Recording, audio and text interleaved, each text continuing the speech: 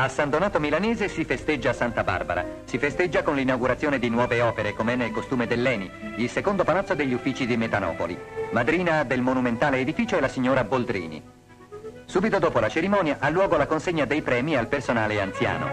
Il professor Boldrini, dopo aver rivolto un breve discorso ai dipendenti, consegna i diplomi e le medaglie.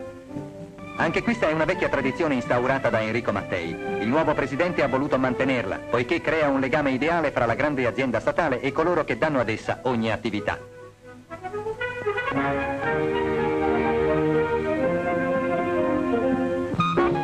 Quest'anno v'è però una novità a Metanopoli, una mostra d'arte.